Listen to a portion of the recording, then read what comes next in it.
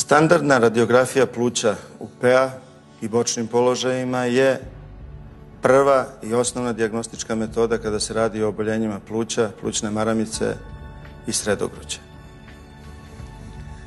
Pregled se može dopuniti i radiografijama u bočnom dekubitusu kada postoji sumnja na mali pleuralni izliv.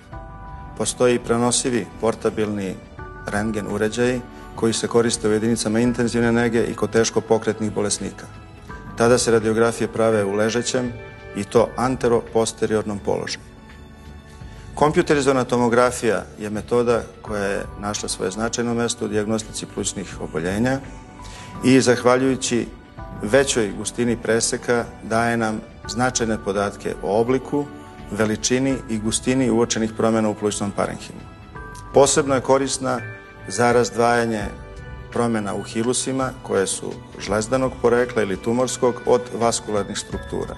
To se postiže intravenskim davanjem kontrasta gde se jasno odvajaju vaskularne strukture od ranije spomenutih promjena, a to nam je jako značajno u određivanju staginga, odnosno stadijuma bolesti. Spiralni, odnosno multislajsni skener je korak napred u diagnostici, zato što se veći deo pluća pregleda u kraćoj vremenskoj jedinici, a pritom postoji mogućnosti kompjuterske 3D planarne rekonstrukcije organa i prezentovanja i virtualne bronhoskopije.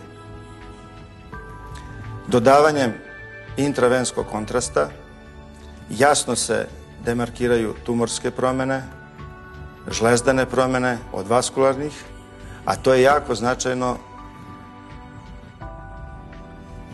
za diagnostiku i drugih bolesti, pa je tako multislajsni skener sa pneumoangiografijom danas postao zlatni standard u diagnostici plućne trombne embolije. Magnetna rezonanca je metoda koja se takođe koristi, ali ima manju primenu u pulmologiji iz prostog razloga zato što je rezolucija slabije. E, I ovde postoji mogućnost e, rekonstrukcije u sagitalnoj i transverzalnoj ravni, pa se podaci koji se dobiju pregledom mogu znatno koristiti i to posebno u slučajevima promjena u plućnim vrhovima, promjena koje su lokalizovane oko kičmenog stuba i oko torako-abdominalnog prelaza.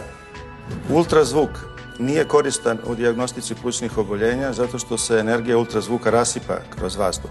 Ultrazvuk ima svoje mesto u lokalizaciji ograničenih pleuralnih izliva, radi određivanja mesta punkcije. Pneumoangiografija prikazuje vaskularno korito pluća, prikazuje ispade u perfuziji kod plućne trombne embolije, patološku plućnu vaskularnu mrežu kod AV fistula. Pozitron emisiona tomografija, odnosno PET scan, ima svoje mesto i zasniva se na povećanom afinitetu tumorskih ćelija za vezivanje glukoze, pa se glukoza obeležena radioaktivnom materijom aplicira bolesniku, a gama kamerom beleži aktivnost iznad čitavog organizma i mesta pojačane aktivnosti su vrlo suspektne na tumor, odnosno na metastaze.